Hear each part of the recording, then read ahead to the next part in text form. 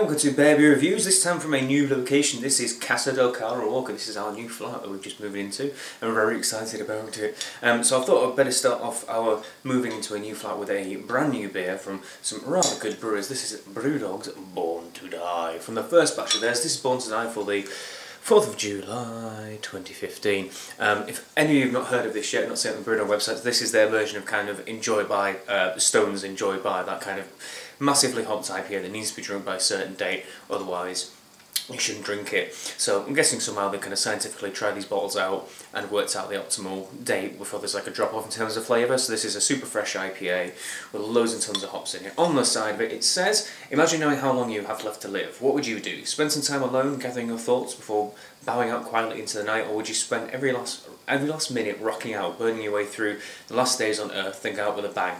This Savage IPA was born to die. It's made for existence as a solitary purpose to be a kick-ass celebration of the power of hops. Born to Die is bitter as hell, super dry, and it's best drunk as soon as you pick it up. If our existence truly is but a brief crack in light between two immensities of darkness, you should spend it drinking this beer as awesome as this. Um, and I believe it's brewed with, uh, oh, oh, I thought I'd seen it earlier, maybe not, doesn't sound side, but let's crack it open and see what we have, and what is more apt to be drinking an IPA, brew, um, IPA by Brewdog in, but their IPA glass, so pull this one out and see what we have.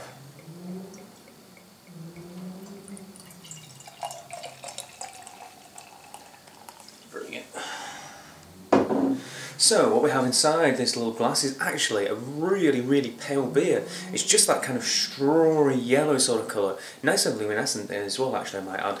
Um, it probably looks like it's coming out a bit more copper than it actually is on the camera, but this is really, really pale straw colour this with a nice tight little white head on the top of it as well. It looks like it's going to be lacing like a beauty, can you see? Looks great. Can already smell it even though I cracked the bottle open, so let's get a good on nose and then give it a smell.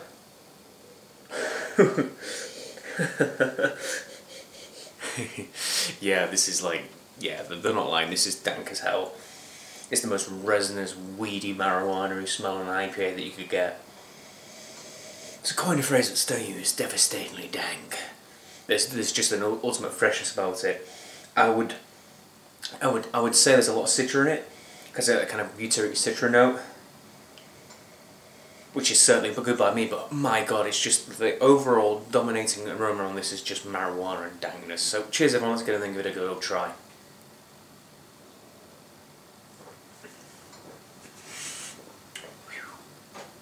Yeah.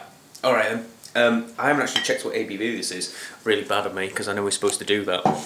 Um, but I'm assuming it's quite a big punchy one. Yeah, eight and a half, just a slightly bit punchy one then, Jack. Um, and it definitely has the flavour of like a double IPA. Um, it is, yes, it's very dry.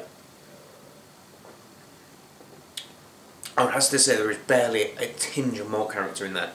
It's titchy, a little bit of slightly caramel sweetness just runs through the back of it, but only such a small amount. And just over the top, you just get cascading, crashing dankness and pininess and resinous notes.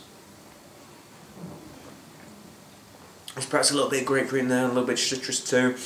You just get that touch of mangoey, lychee like citra in there too. I, think it's probably quite citra dominant this. Um, but this just massive, massive, devastatingly dank.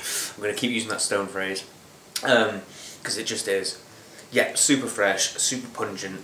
Um, everything I kind of like about an IPA, but it, it's more on the dank side than I kind of like. I like mine a little more juice but that's a personal preference. It's a very good exercise in doing an IPA, doing it how hard they should be. Fresh, and full of hop flavours and, and dry, real dry and bitter finish. Not overtly bitter though, don't be put off by it saying it's bitter, it's not crazy bitter. Um, it, it's all balanced really.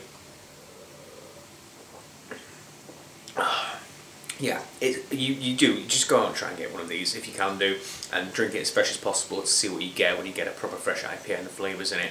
I'm probably going to give this a nice 9 out of 10. It's really cracking, it's a really good experiment in it.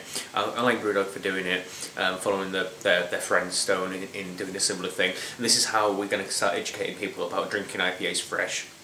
I had a disappointing bottle of Sierra Nevada Torpedo yesterday, it was all malt, because it's probably been on the shelf for six months. This is the opposite, drink it fresh, go and enjoy it. So please like, favourite, comment and subscribe, and until the next Beer review, cheers everyone.